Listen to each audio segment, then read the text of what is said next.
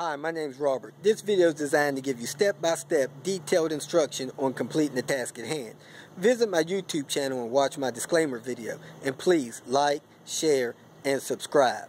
I hope you find the information you're looking for. Thank you very much for watching.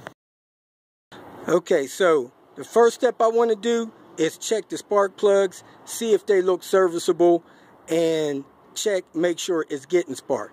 So you want to find the spark plugs. Normally has a cover covering it, either a whole engine cover or a cover like this. So I'm going to pull that cover. I'm going to check spark plug number one and two. There's a couple different ways to see if the spark plug is firing.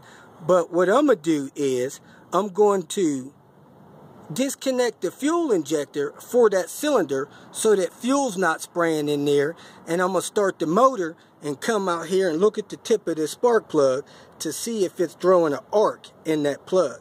Now you could check the gap with the gap gauge, make sure the gap is proper. You could brush and dry the spark plug off so that it fires better.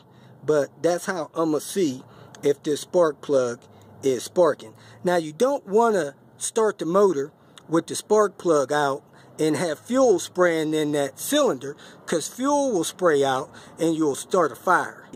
If you have a coil pack that connects your spark plug, you can do the test the same way. Unbolt the coil pack from the motor, leave the spark plug in it, start the car with no fuel on that cylinder, and see if that spark is jumping.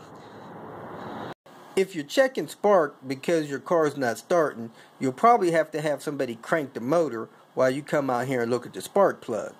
Another thing that uh, some people do is get some kind of spark plug signal tester, which is like a test light that plugs in to the end of the spark plug wire or coil while they crank it and look for that uh, tester to flash. Okay, I disconnected the fuel injector for that cylinder I have the spark plug laying across the motor. I'm going to start it and see if uh, spark jumps in that plug.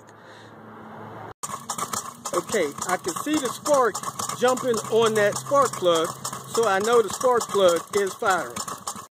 Okay, since I got spark, I know that my ignition system is likely good, and I either have a fuel problem or more than likely a compression problem if you feel that this information was beneficial, please like it and share it with your social media friends. You can also subscribe to my channel so that you can get notification of future videos that I post. Visit my channel. I have all types of do-it-yourself videos there. You can leave questions here and I'll try to respond to them as quick as possible. You can also visit my website at robertspinner.com. Thanks again for watching.